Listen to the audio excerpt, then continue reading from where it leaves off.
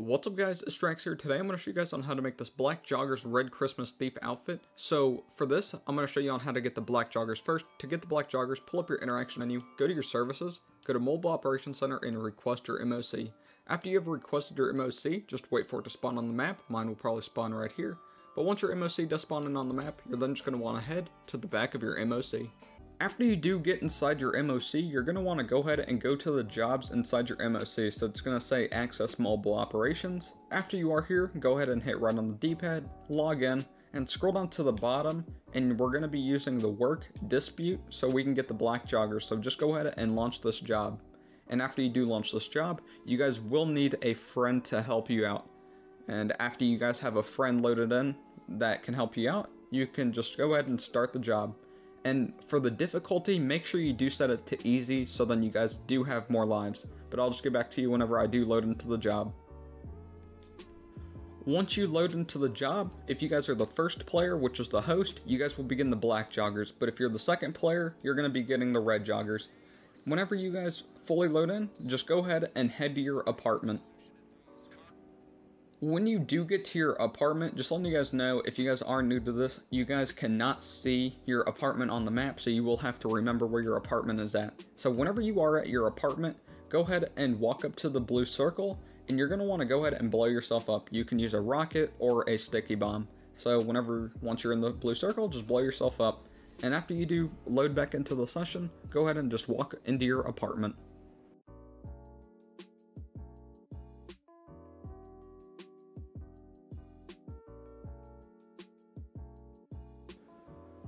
Whenever you're here inside your apartment, go ahead and go down to the changing clothes section. Whenever you're here inside the closet, just go ahead and scroll down to your accessories and you're just going to want to change one part of your outfit. So just change the gloves or you can change the shoes.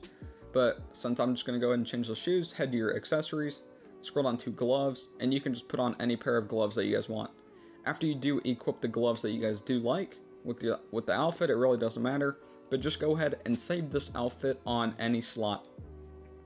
After you do save the outfit, you can now back up back out of the closet, go ahead and you can now pull up your phone and just leave the job from your phone. When you do load back into a public session with the black joggers, you can go ahead and head to the clothing store so we can go ahead and do the outfit that you guys see in the thumbnail.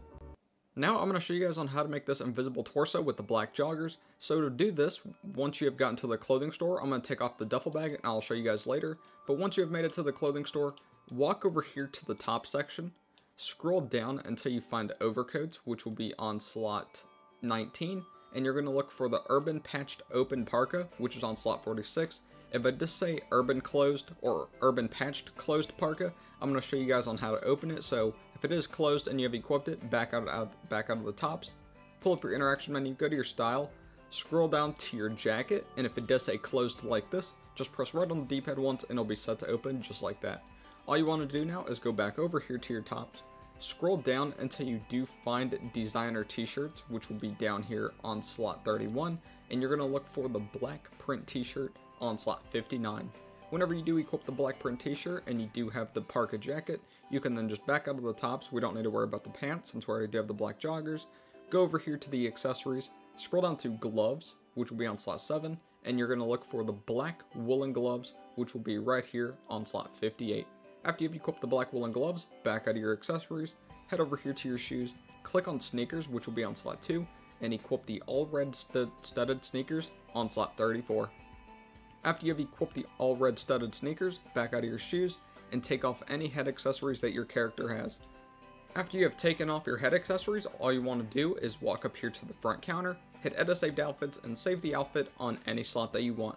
After you have saved the outfit, you can then just back out of your edit saved outfits, scroll down through the clothing until you find heist coveralls on slot 13, and scroll down from slot 9 through slot 12 and equip one of these outfits with the toxic mask.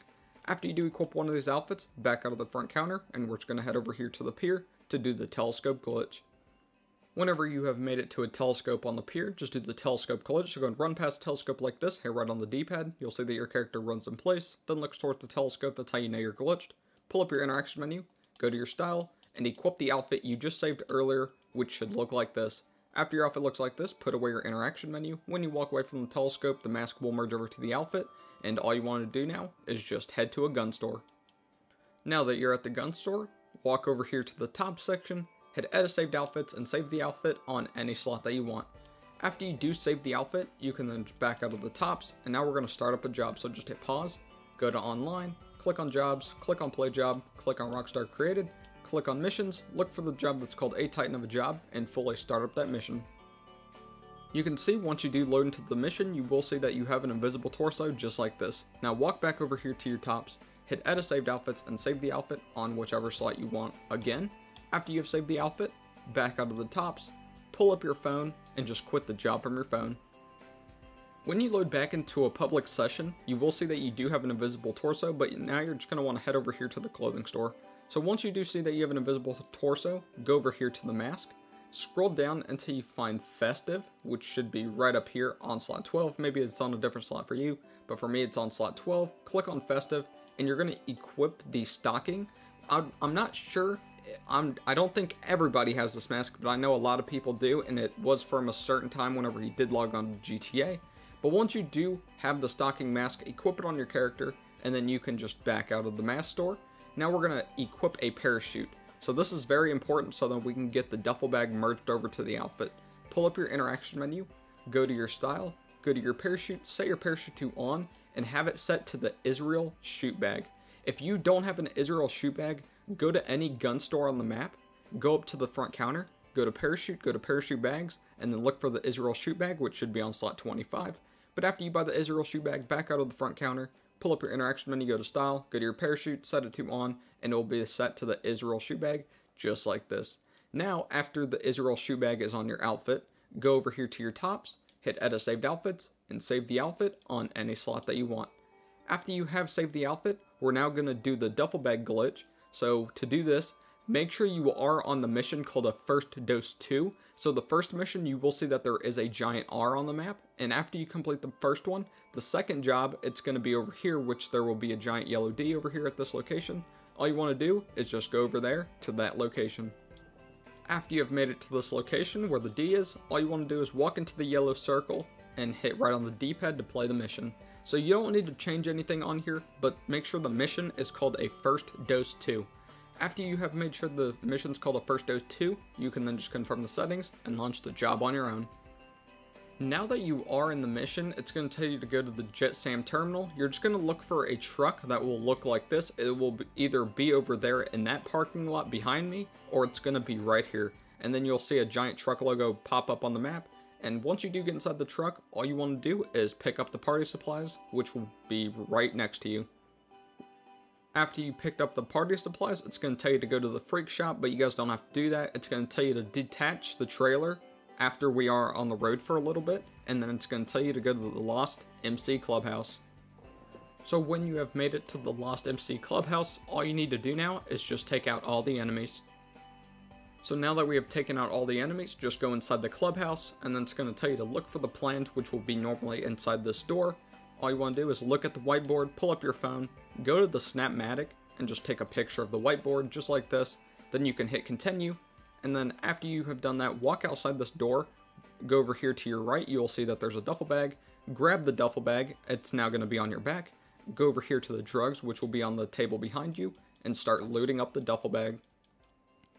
After you have looted up the duffel bag, all you want to do now is you can see that it's still empty. Pull up your duffel or pull up your interaction menu, go to your style, scroll down to your accessories, click on accessories, and you're going to scroll through your gloves for at least a few seconds.